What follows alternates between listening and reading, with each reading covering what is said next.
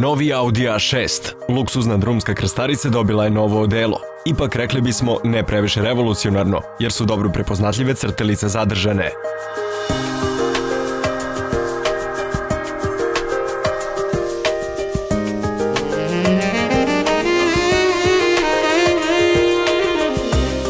Zanimljivo je da su dimenzije novog modela gotovo nepromenjene u odnosu na prošlu generaciju. Dužina iznosi 4,92 metara, širina 1,87, a visina 1,46.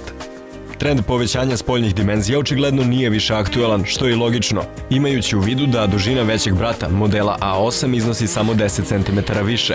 Zapremina prtljažnika iznosi za ovu klasu solidnih 530 litara.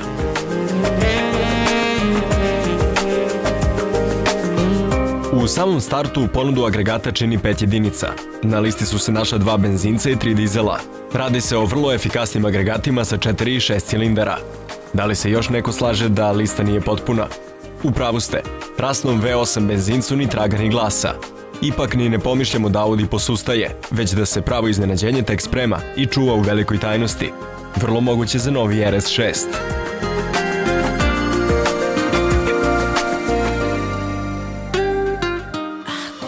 Verujemo da će dvolitarski dizel kao pravi štediša osvojiti razumnije kupce, jer uz deklarisanu prosečnu potrošnju od 4,9 litara na pređenih 100 km nudi i sasvim pristojne performanse. Sa svojih 177 konskih snaga i 388 Nm obrtnog momenta, 1575 kg tešku karoseriju do stotke dovodi za 8,7 sekundi, dok se kazaljka brzinomera zaustavlja na 228 km na sat. Nije loše za jednog prosečnog naftaša, zar ne?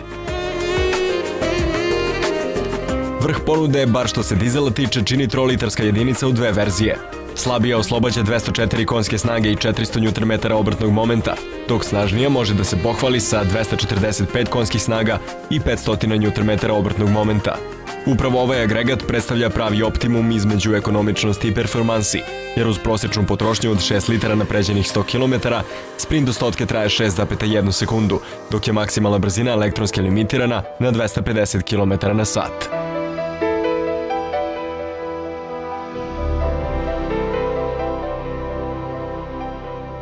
Što se benzinaca tiče, u ponudi su dva agregata. Slabija atmosferska jedinica zapremine 2,8 litara raspolaže se 204 konske snage, uz prosječnu potrošnju od 7,4 litra na 100 km i sa ubrzanjem od 0 do 100 km na čas za 7,7 sekundi, dok maksimalna brzina iznosi 240 km na čas.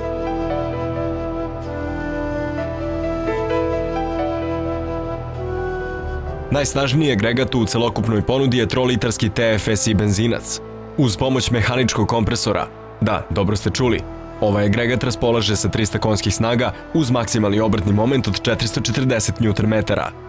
Ubrzanje od 0 do 100 km na čas traje svega 5,5 sekundi, a maksimalna brzina je kao i kod 3-litarskog dizela elektronski limitirana na 250 km na čas.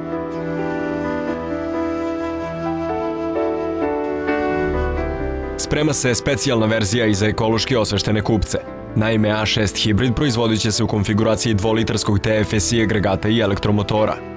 Pogon osnovnog modela je na prednjim točkovima, dok uz top range modele stiže dobro poznati quattro pogon na svim točkovima. Transmisija koja se dobije uz dvolitarski dizel je manuel na 600 stepena, dok se uz doplatu može dobiti i multitronik automatika.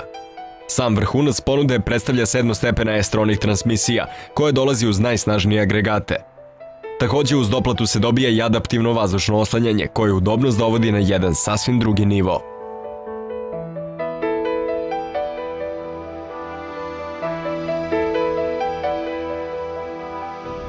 Prisutan je i veliki broj tehnički naprednih rešenja.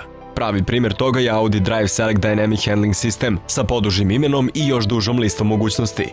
Uz pomoć ovog sistema vozač može da odabere režim ponašanja automobila po svojim prohtevima, Postoji pet podešavanja, od onog za opuštenu vožnju pa sve do najdinamičnijeg, zaključno sa efficiency režimom koji pretvara novi A6 u pravog štedišu.